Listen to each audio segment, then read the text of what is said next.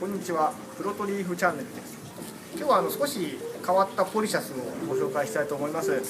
僕が今手に持ってるのは、まあ、いわゆるポリシャスフィリキフォリア、まあ、通常よく出回るポリシャスなんですけど今日ご紹介したいのはこちらですね。葉っぱがすごく細かいタイプのポリシャス。ですちょっと学名がまだ正式に分かってないんですけども、まあ、通称でガーデンポリシャスという名前で入ってきてます。で非常に葉っぱが密についてこうぼんぼりのようにね丸く固まって葉がつくので、まあ、すごく可愛らしい姿になりますね。で非常に人気がある、ま、ポリシャスの仲間ガーデンポリシャスですね、まあ、ちょっと入荷の方がまだあの安定してないんで、まあ、なかなか数はまとまって入ってこないんですけども、まあ、非常にこれからおすすめの植物になると思いますのでぜひぜひよろしくお願いいたします。